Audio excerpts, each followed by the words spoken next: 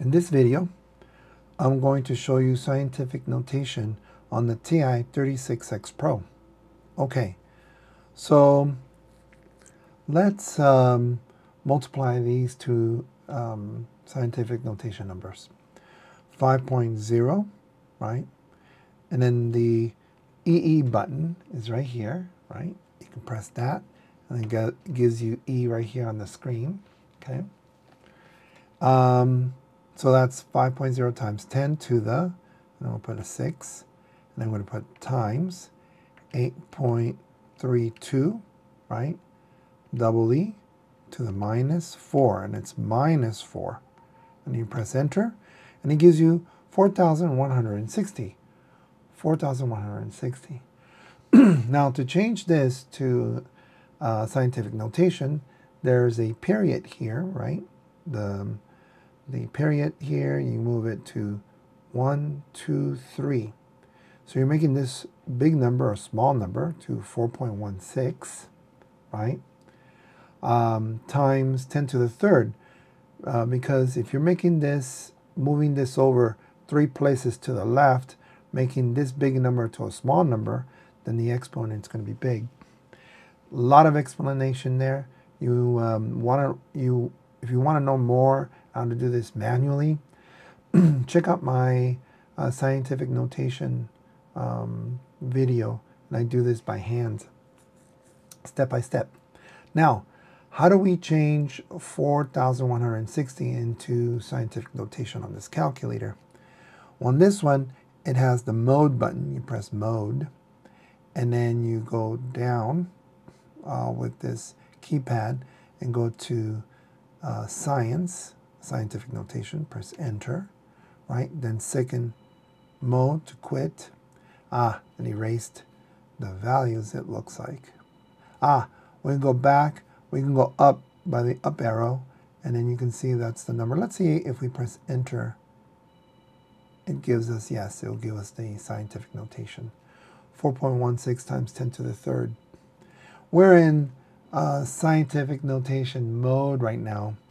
So all the answers will come out to be scientific notation from now on. You know, if that was a little confusing, just pause the video, just try it again, and, and you'll see that it will work. Now, um, if you like this content so far, give it a thumbs up. Um, share it with your teachers, share it with your friends. Okay, so let's do division. So here we got 6.23, right? Then double E times 10 to the eighth, right? Divided by 1.25, right? Double E to the minus 6. So what you see here is sort of what you see here on paper. Enter. Then we get 4.984 times 10 to the 14th. Now, this minus 6 goes up and gives you plus 14. And that's why you got a plus 14 here. Let's subtract these two here. This is a very big number. This is a very, very small number. When you subtract a small number from a big number, it gives you the same answer in scientific notation. So 6.25, right? double E to the fourth, subtract 8.31, right, to the power of negative 8, enter, 6.25 times 10 to the fourth. As you can see, it's the same number that we input. Let's say I wanted to change this back into a regular number. We should be able to, right, with mode, then click on normal, enter, right, and then quit second mode.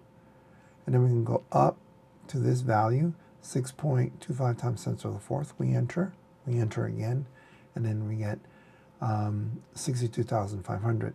Now, one thing to note about these problems, like how many numbers do I write after the decimal place? That's something that you're going to have to ask your teacher. Sometimes it has to do with significant figures, especially if you're do doing um, chemistry. It tends to be the accuracy of what you're measuring. So let's go to mode, go down, go to SCI, enter, and second mode to quit. Um, let's do a problem that will have more a visual result. 6.14 when we're subtracting um, to the power of 4 take away. This is take away.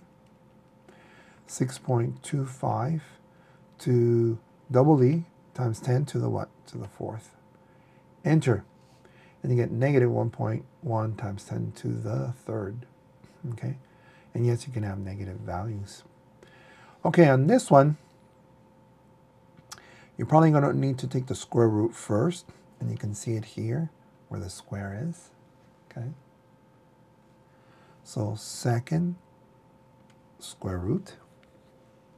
And this is going to be um, 1.6, right, to the double E times 10 to the what? 4. Enter, right? 1.264 times 10 to the second. Perfect. Let's do this one.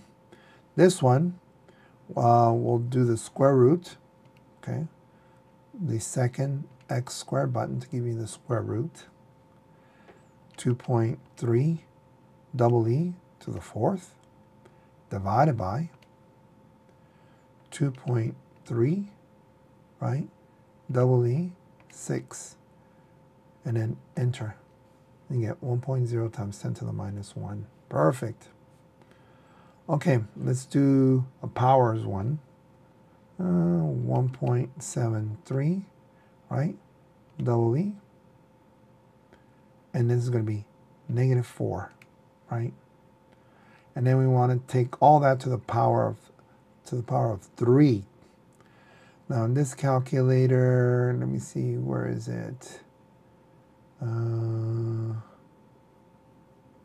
it's right here, which is kind of a unique and weird way of putting this, but x to whatever power you want, right?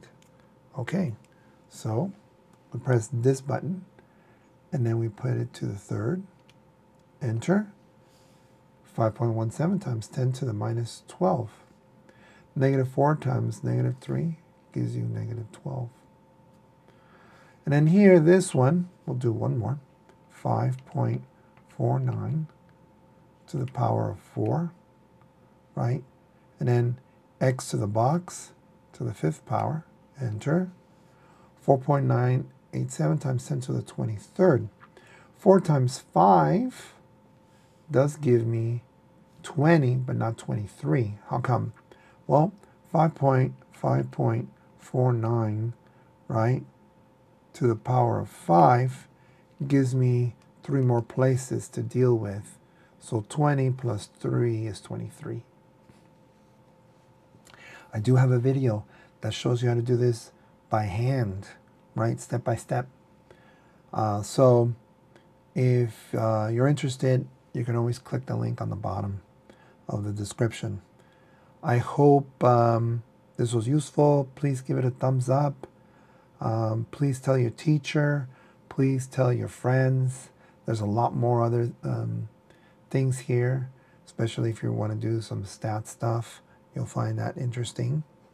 Um, or if there's something in particular or some type of math you're interested in, by all means, uh, put in the description.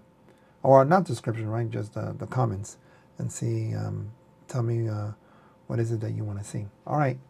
Have a great semester. I'll see you later. Bye-bye.